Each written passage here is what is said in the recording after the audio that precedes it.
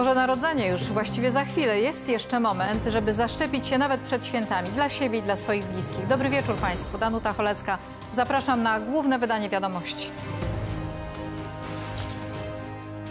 Atak na polską suwerenność. stosuje się szantaż ekonomiczny, próbuje się różne rzeczy wymuszać wyrokami tak naprawdę wydawanymi bezprawnie. Kierowcy jadą już e, dwujezdniową drogą na charakterze ekspresowym. Nowe drogi i linie kolejowe. Polacy korzystają z boomu inwestycyjnego. Cieszymy się, że wreszcie jest i chcemy więcej. Będę czekał i czekał. Zobaczymy, kiedy przyjdzie. Drogie dzieci, święty Mikołaj wyruszył w drogę. Zostańcie w łóżkach i śpijcie. To daje mi możliwość przyniesienia prezentów.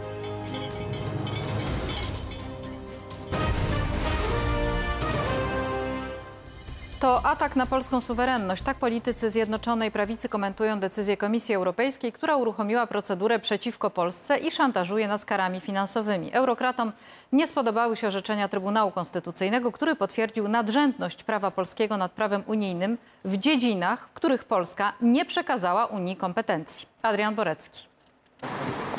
Komisji Europejskiej nie podoba się, że polski Trybunał Konstytucyjny stosuje się do zapisów naszej konstytucji, która jasno stanowi, że jest najwyższym prawem Rzeczypospolitej Polskiej. Uważamy, że to orzecznictwo narusza ogólne zasady niezawisłości, nadrzędności, skuteczności i jednolitości stosowania prawa unijnego oraz wiążących skutków orzeczeń TSUE. Uważamy również, że polski Trybunał Konstytucyjny nie spełnia już wymogu niezawisłego i bezstronnego sądu ustanowionego na mocy prawa, czego wymaga traktat.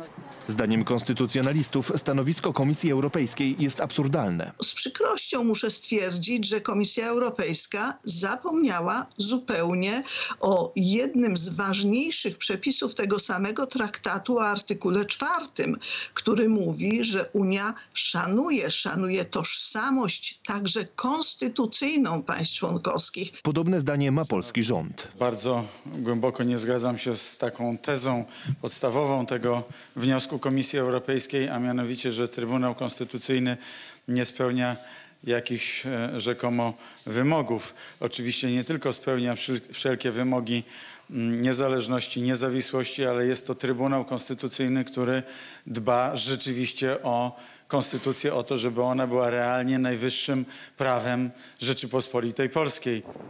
Jednak brukselscy urzędnicy uzurpują kompetencje, których nie przyznano im w traktatach. Należy przestrzegać podstaw porządku prawnego Unii Europejskiej, w szczególności nadrzędności prawa Unii Europejskiej. Komisja uruchomiła procedurę naruszeniową przeciwko Polsce i grozi karami finansowymi milion euro dziennie. Wcześniej takich kar nie było, choć polski Trybunał Konstytucyjny już w 2005 i 2010 roku wskazywał na prymat polskiej konstytucji. Podobne wyroki zapadały w wielu krajach wspólnoty, ale tylko Polska jest szantażowana finansowo za to, że nasz Trybunał Konstytucyjny broni polskiej suwerenności. Organy Unii Europejskiej działają poza granicami kompetencji przekazanych przez Rzeczpospolitą Polską w traktatach. Komisja Europejska rozpoczyna postępowanie przeciwko Polsce, negując funkcjonowanie polskiego Trybunału Konstytucyjnego. To już nie jest spór prawny, to atak na polską konstytucję i podstawy polskiej państwowości. Komisja Europejska chce pozbawić Polskę prerogatyw suwerennego państwa. Komisja Europejska chce bezprawnie ingerować w wewnętrzne sprawy Polski, jak na przykład w reformę sądownictwa. Jednocześnie eurokraci stosują podwójne standardy i nie dostrzegają problemu upolitycznienia sądownictwa w Niemczech. Chodzi o kwestionowanie prymatu polskiej konstytucji. Po prostu nie spodobał się urzędacom Brukseli wyrok polskiego niezależnego, niezawisłego Trybunału Konstytucyjnego. I mówią nie. Nie chcę powiedzieć nie, jeśli by nawiązać do czasów minionych.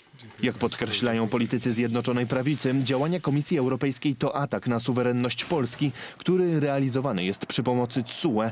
Celem jest przekształcenie Unii Europejskiej w państwo federalne podporządkowane Niemcom. Jesteśmy świadkami takiego pełzającego zamachu stanu, e, który realizowany jest przez wyroki TSUE. Celem oczywiście jest to e, doprowadzenie do sytuacji, w której e, to nie społeczeństwa, nie parlamenty, nie rządy, ale kompletnie anonimowi e, urzędnicy, sędziowie z Unii Europejskiej będą decydowali o naszych wewnętrznych sprawach. Jak na przykład w sprawie Turowa. Nakaz zamknięcia kopalni jednoosobową wydała sędzia Rosario Silva de la Puerta. Gdyby Polska wykonała polecenie TSUE, to dziś tysiące Polaków w rejonie kopalni i elektrociepłowni nie miałoby ogrzewania i ciepłej wody. Pomimo tego politycy opozycji domagali się wykonania tego postanowienia. jest orzeczenie sądowe i rządzący muszą się do niego zastosować, niezależnie od tego, jak ono jest y, bolesne i jak trudne. Y, Na tym polega system Unii Europejskiej. Chcemy czy nie chcemy, zgadzamy się czy nie wykonać postanowienie TSUE, dlatego że my nie możemy sobie wybierać lepszych i gorszych podstan- y, postanowień y, w y, Trybunału Sprawiedliwości Unii Europejskiej. Jednak polski rząd nie wykonał absurdalnego postanowienia sędzi de la Puerty. Za to sędzia znów jednoosobowo nałożyła na Polaków karę pół miliona euro dziennie. Stosuje się szantaż ekonomiczny, próbuje się na nich różne rzeczy wymuszać wyrokami tak naprawdę wydawanymi bezprawnie, a w kontekście, a w interesie faktycznie grup lobbyingowych, w interesie największych państw e, unijnych, w szczególności Niemiec. A to potwierdziły ustalenia francuskiego dziennika Libération, który ujawnił gigantyczną aferę na szczytach unijnych władz. Handel wpływami, stanowiskami i ustalenia najważniejszych unijnych decyzji podczas wspólnych obiadów, polowań i bankietów, w tym zamku we Francji. Udział w spotkaniach brali urzędnicy Komisji Europejskiej, a także sędziowie Trybunału Sprawiedliwości Unii Europejskiej. Wszystko finansowane miało być z pieniędzy lobbystów. Gdy Trybunał Sprawiedliwości Unii Europejskiej mówi Polsce, w jaki sposób powinna zorganizować swój system sądownictwa, sam powinien być wolny od wszelkich podejrzeń. Tymczasem moje śledztwo, a w przyszłości planuję kolejne, wykazało, że tak nie jest. Trybunał Sprawiedliwości Unii Europejskiej jest niemalże czarną dziurą europejskiej demokracji.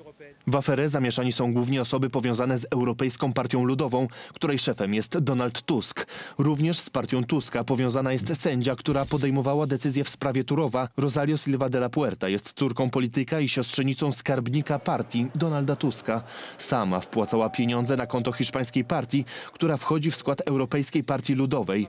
Zdaniem komentatorów ten przypadek dobrze ilustruje sieć powiązań, która oplata Brukselę. Każdy, kto próbuje ją zerwać jest brutalnie atakowany. Dzisiaj eurokraci wzięli na celownik Polskę. Wczoraj pod pręgierzem postawili Rumunię.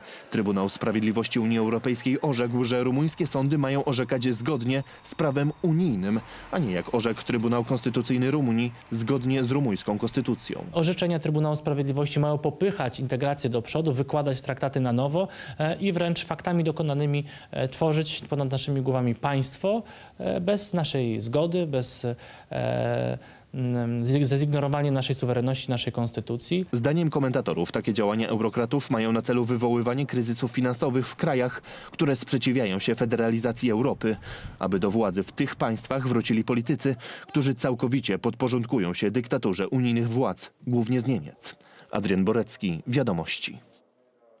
Kluczowa jest deeskalacja na granicy rosyjsko-ukraińskiej, powiedział szef polskiej dyplomacji Zbigniew Rau po spotkaniu z ambasadorami Ukrainy w Kijowie. W reakcji na coraz bardziej agresywny język Kremla, Ukraina wezwała władze rosyjskie do zakończenia wrogiej retoryki i rozwiązania narastającego konfliktu drogą dyplomacji. Ale Moskwa wysuwa coraz śmielsze żądania, również pod adresem NATO. Konrad Wąż. Polska Straż Graniczna odnotowała minionej doby 18 prób nielegalnego przekroczenia granicy z Białorusią. To stosunkowo niewiele, bo bywały dni, że takich prób było nawet 700.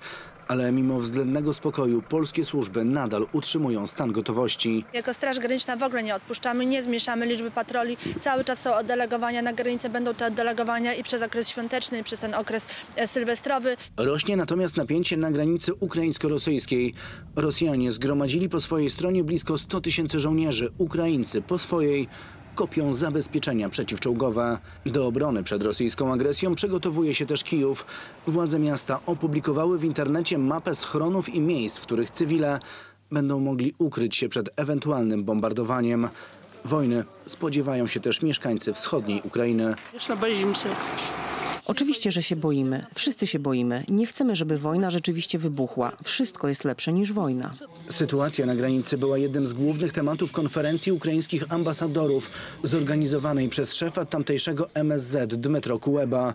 W roli gościa honorowego szef polskiej dyplomacji Zbigniew Rau. Sytuacja jest poważna, a my także dzisiaj to podkreślałem, że w Polsce uznajemy, że e, celem e, naszych wysiłków natowskich jest deeskalacja, ale przede wszystkim eskalacja poprzez odstraszanie, oczywiście wspierane dialogiem.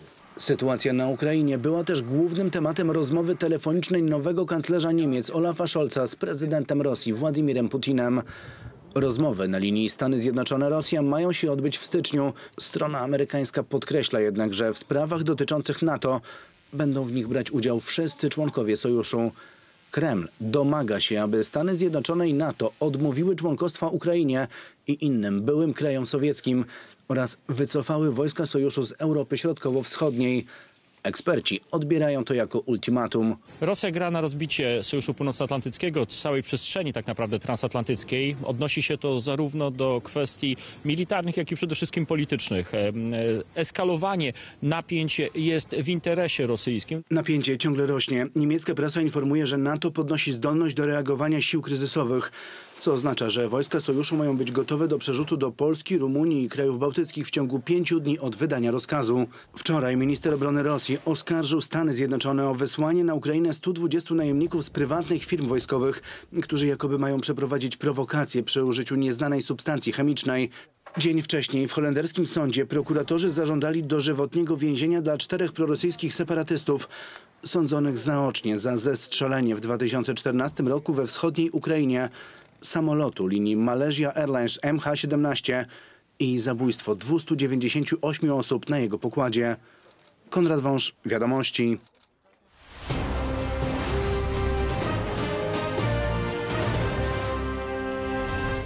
Ponad 770 pacjentów zakażonych koronawirusem zmarło w Polsce ostatniej doby. Ponad 70% z nich to osoby niezaszczepione. Wśród pozostałych dominowali pacjenci z licznymi chorobami. Lekarze apelują, zadbajmy o swoich najbliższych i zaszczepmy się jeszcze przed świętami. Karol Jałtuszewski. Liczba nowych zakażeń zaczęła powoli spadać, ale sytuacja w szpitalach nadal jest trudna. Mamy oddział zapełniony i są to e, chorzy w bardzo ciężkim stanie.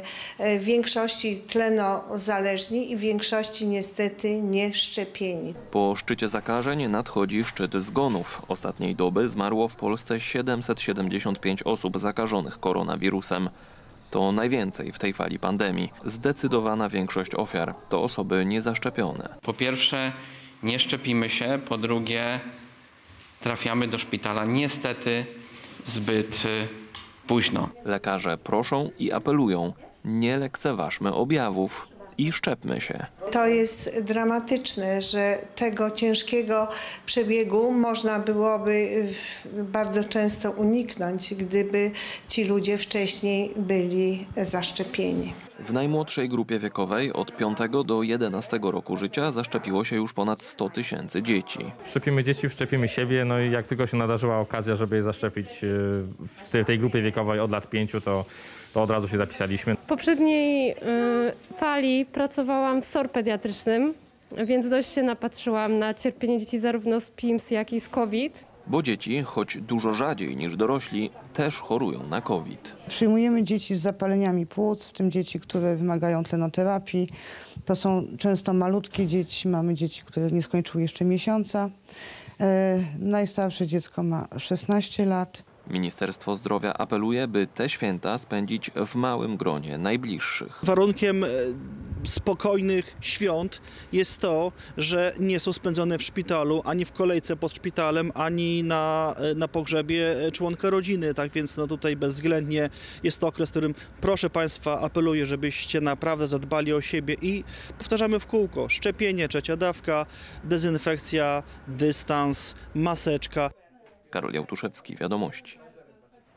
Lubiatowo-Kopalino to lokalizacja pierwszej polskiej elektrowni atomowej. Budowę kluczowej dla bezpieczeństwa energetycznego państwa inwestycji popiera aż 74% Polaków.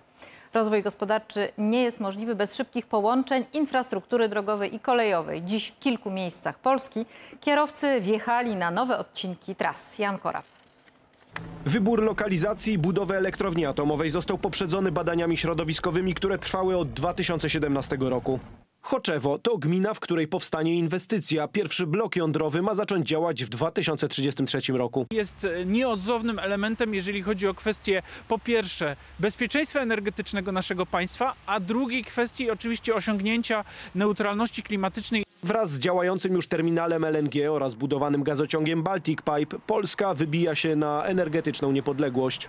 Szybko rozbudowywana jest także infrastruktura transportowa. Premier w Porębie uczestniczył w oddaniu do użytku przebudowanego odcinka drogi z Pawłowic do Pszczyny w województwie śląskim. Wzdłuż tej drogi na całej długości jest, wybudowana, y, jest wybudowany ciąg rowerowy, wybudowane są chodniki. Rząd zaakceptował właśnie listę kolejnych 50 obwodnic, które otrzymają dofinansowanie. Jest na tej liście obwodnica Kartus y, i że to zadanie e, w tej chwili przejdzie już w fazę realizacji, ma finansowanie. W Małopolsce zmorą kierowców dojeżdżających do Krakowa było to rondo. 10 minut raptem jazdy samochodem, a w korku trzeba stać pół godziny. To naprawdę, naprawdę to y, bardzo bolało. Cieszymy się, że wreszcie jest i chcemy więcej. Jest udostępniony kierowcom zmodernizowany odcinek drogi krajowej nr 94. Kierowcy jadą już e, dwujezdniową drogą e, o charakterze ekspresowym, e, 50-kilometrowym odcinkiem. Minister infrastruktury zapowiada oddanie jeszcze w tym roku kolejnych odcinków Via Carpati oraz Via Baltica. Także dzisiaj otwarto kolejne 50 km drogi ekspresowej S7, która połączy północ Polski z południem. Dziś kierowcy pojechali odcinkiem Płońsk-Napierki. dla tej ziemi, która tak bardzo była zawsze odizolowana, tak bardzo wykluczona komunikacyjnie, otwiera zupełnie nowy etap rozwoju Warmii, Mazur. Lepiej skomunikowane dzięki połączeniom kolejowym zostaną miejscowości Bełchatów, Kozienice, Sokół Podlaski, a także Śrem i Gostyń. To zakładają projekty programu Kolej Plus. których celem jest przywracanie e, ruchu kolejowego do miast powyżej 10 tysięcy mieszkańców. Złożono 47 wniosków inwestycyjnych. Polskie linie kolejowe rozpoczynają ocenę dokumentów. Oszacowano e, wartość tych projektów na kwotę 18 miliardów e, złotych. Dzięki bieżącym inwestycjom na Pomorzu Zachodnim do Kołobrzegu i Koszalina będzie można udać się pociągiem hybrydowym. Taki pojazd może do 1000 km przejechać e, po prostu bez trakcji elektrycznej. Siedem kolejowych hybryd kursuje tam, gdzie dotychczas wysyłano jedynie pociągi spalinowe. Jan Korab, Wiadomości. Oglądają Państwo główne wydanie wiadomości o to, co jeszcze przed nami w programie. Wzrost cen efektem uległej wobec Unii polityki koalicji PO-PSL. Największy w Europie żłóbek u poznańskich franciszkanów.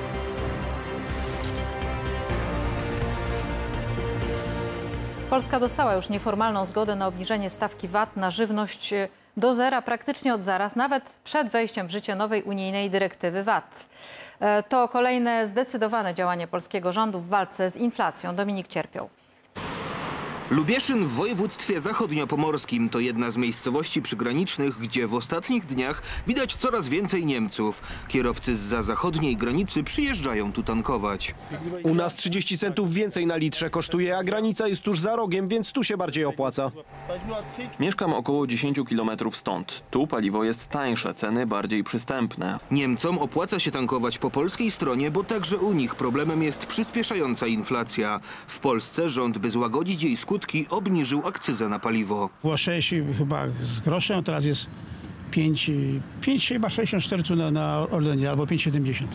Także bardzo dobrze. No. Nie tankowałam jeszcze od czasu obniżek, ale słyszałam, bo znajomi mówili, że faktycznie potaniało troszeczkę. Obniżka akcyzy na paliwo to jeden z elementów rządowej tarczy antyinflacyjnej. Chronimy polskie rodziny. Obniżamy podatki. Dodatkowo Ministerstwo Finansów wysłało do Brukseli wniosek o zgodę na obniżkę podatku VAT w paliwach i VAT-u na żywność. Według nieoficjalnych informacji komisja da zielone światło na zerową stawkę VAT na produkty żywnościowe. Niższe stawki mogłyby wejść w życie 1 lutego. Z 1 lutego z, tego powodu, e, że trzeba kasy fiskalne przerejestrować, żeby te artykuły pierwszej pomocy, e, potrzeby, przepraszam, e, miały zerowy VAT. Choć obniżki całkiem nie zlikwidują inflacji, to jest to znacząca zmiana w prowadzeniu polityki gospodarczej w Polsce. Przez lata rządy przyjmowały strategię nieingerowania w sprawy gospodarki, pozostawiając konsumentów i firmy bez pomocy. Ci, którzy rozumieją elementarnie gospodarkę, wiedzą, że gdyby rząd miał guziki, na jednym byłoby napisane niskie ceny żywności, a na drugim wysokie, to ja nic innego nie robił, tylko bym naciskał ten guzik niskie ceny. Tylko takich guzików nie ma. Pieniędzy po prostu nie ma. I nie będzie. Za kilka miesięcy w gospodarce powinny być odczuwalne także skutki podwyżek stóp procentowych. Od kilku miesięcy w ten sposób z inflacją walczy Narodowy Bank Polski, podobnie jak inne banki centralne w regionie. České národní banky. Narodowy Bank Czech właśnie zaskoczył ekonomistów i po raz piąty z rzędu podniósł stopy procentowe. Walka z inflacją to bowiem problem całej Unii Europejskiej. Jej głównym powodem są ceny energii, które rosną z powodu wysokich cen uprawnień do emisji CO2. Na ostatnim unijnym szczycie Bruksela nie chciała się zgodzić na zmiany w tym systemie, bo w ten sposób chce zmusić europejskie kraje do przechodzenia na energię odnawialną, która nie zawsze działa. Mieliśmy do czynienia z małowiecznym e, latem, kiedy nie pracowały tak naprawdę odnawialne źródła energii w takiej skali, jak tego się spodziewano. E, Szczerpywano e, zasoby gazu z magazynów gazu. Magazynów, e, przypomnę, w dużej mierze będących własnością Gazpromu. Przed zimą Rosjanie celowo nie zapełnili magazynów gazu, by w ten sposób wymóc zgodę na uruchomienie gazociągu Nord Stream 2, a puste magazyny przed sezonem grzewczym jedynie podbiły ceny gazu na światowych giełdach. Bruksela właśnie zdecydowała o wszczęciu śledztwa antymonopolowego wobec rosyjskiego Gazpromu. Dominik Cierpioł, Wiadomości. Wyższe ceny gazu i energii elektrycznej. Także tym tematem opozycja próbuje atakować polski rząd. Tyle tylko, że wyższe ceny dziś to efekt decyzji i zobowiązań sprzed lat. Efekt polityki uległości wobec Unii Europejskiej i Rosji. Jeszcze z czasu, gdy rządziła koalicja PO-PSL z Donaldem Tuskiem na czele. Marcin Tulicki. Tym happeningiem Platforma Obywatelska walczy o głosy wyborców. Zarzuca rządowi Prawa i Sprawiedliwości wzrost cen, omijając jednocześnie inny temat. Skąd takie ceny? Żeby odpowiedzieć na to pytanie i wyjaśnić krok po kroku, trzeba się cofnąć o nawet kilkanaście lat. Jest rok 2008, Polską rządzi koalicja PO-PSL. Premierem jest Donald Tusk. W Brukseli godzi się na konkretne rozwiązania przez które dziś ceny prądu szybują w górę. A dwie trzecie ceny energii elektrycznej to koszty wynikające właśnie z polityki klimatycznej Unii Europejskiej. bezrefleksyjnie i bardzo naiwnie albo świadomie naiwnie zgodzili się na no, zabójczy dla polskiej gospodarki mechanizm y, tych uprawnień, handlu uprawnieniami do emisji CO2. To jest e, niestety bardzo niewygodna sytuacja dla Polski, no, która musiałaby e, wypowiedzieć taki e, traktat międzynarodowy, który wtedy zawarł rząd Donalda Tuska i Ewy Kopacz. Najpierw była redukcja CO2 o 20% do 2020 roku. Do tego obowiązkowy handel uprawnieniami do emisji dla wytwarzających energię elektryczną, a to ogromne pieniądze. Do każdej megawattogodziny wyprodukowanej w Polsce średnio dodajemy prawie 300 zł, e, które wynikają z, tylko z emisji e, dwutlenku węgla. Później był rok 2014. Bruksela postanowiła jeszcze bardziej wyśrubować i tak wysokie już normy. Wówczas szefem Rady Europejskiej był Donald Tusk. A premierem w Polsce namaszczona przez niego Ewa Kopacz, która bez mrugnięcia okiem zgodziła się między innymi na ograniczenie emisji CO2 o 43% do roku 2030. Na pewno tamten pakiet z 2014 roku przyczynił się do tego procesu, który doprowadził do wzrostu cen energii w Polsce obecnie na, kolejny 2022 rok. Eksperci już wtedy przewidywali drastyczny wzrost cen energii w przyszłości, ale innego zdania była Ewa Kopacz. Ja jestem spokojna, że po roku 2019 polski prąd zdrożeje dla odbiorców. Nie zdrożeje, pani premier. Ja jestem, spokojna, że, że- nie, polski prąd nie zdrożeje dla odbiorców. Zdrożał. Tylko dziś Ewa Kopacz nie mówi ani o swoich decyzjach, ani o swoich słowach sprzed lat. Chętnie w jednym chórze z koleżankami i kolegami po partyjnych barwach winę zrzuca na obecny polski rząd. Jak już jesteśmy przy cenach energii, trudno nie wspomnieć o gazie i słynnych kontraktach z Rosjanami. Powinniśmy to szybko sfinalizować. Które chętnie i na zasadach bynajmniej niekorzystnych dla Polski podpisywał Waldemar Pawlak. Szef URE miał dwie minuty na przeczytanie e, całej umowy e, już parafowanej. Pół godziny miało Rządowe Centrum Legislacji. Naprawdę to było po prostu, to był jakiś dziki zachód, czy może bardziej dziki wschód negocjacji międzynarodowych między państwem a, a, a korporacją taką jak Gazprom. Korporacją, którą nie od dziś Władimir Putin wykorzystuje do ekonomicznego szantażu innych państw. To też wie niemal każdy i tu też chyba tylko politycy Platformy Obywatelskiej mają inne zdanie. Kwestia dotycząca e, Nord Streamu 2. Rzeczywiście jest parafowane porozumienie porozumienie prywatnych firm. Marcin Tulicki, Wiadomości.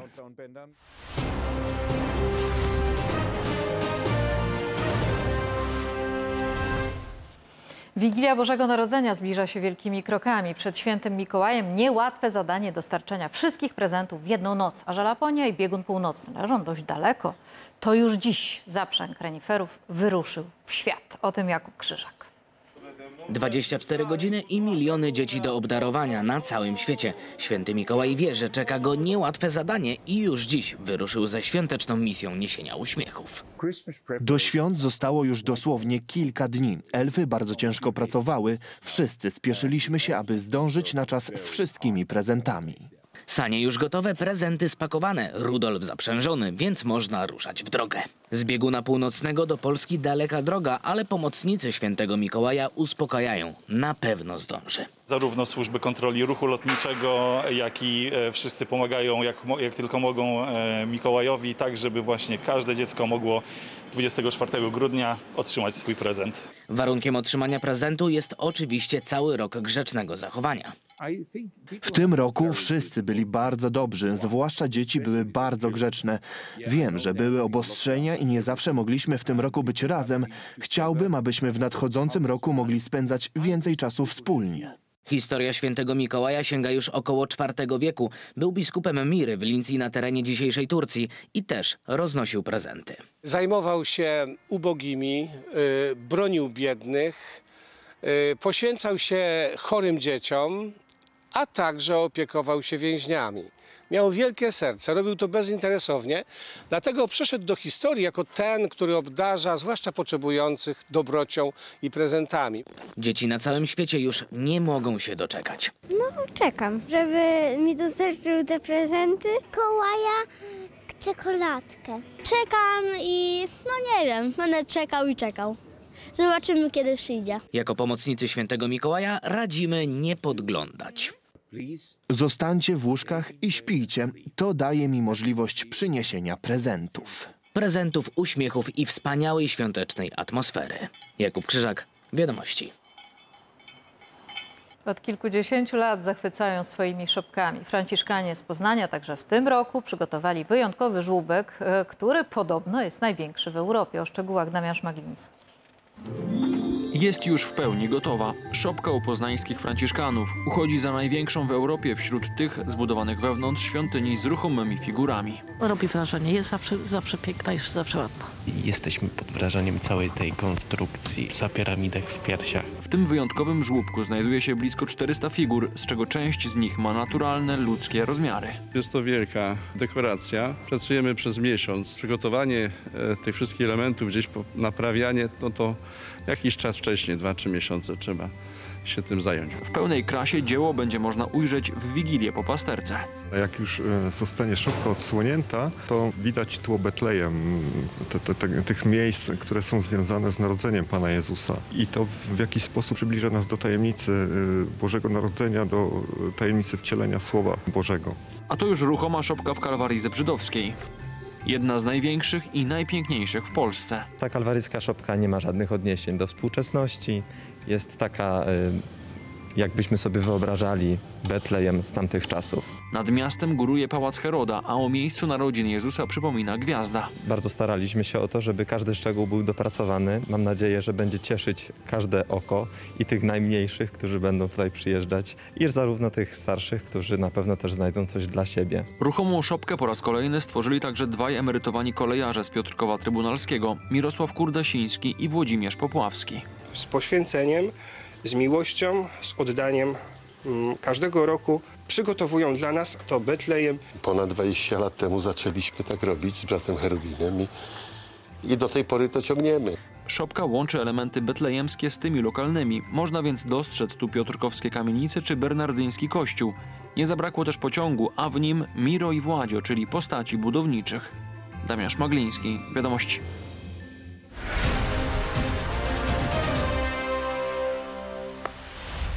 I już przedstawiam gości wiadomości. Michał Woś, wiceminister sprawiedliwości Solidarna Polska. Dobry wieczór Państwu. I Arkadiusz Myrcha, Platforma Obywatelska, Koalicja Obywatelska. Dobry wieczór, panie redaktor. Stawiamy kropkę i zapraszam na rozmowę do TVP Info z naszymi gośćmi.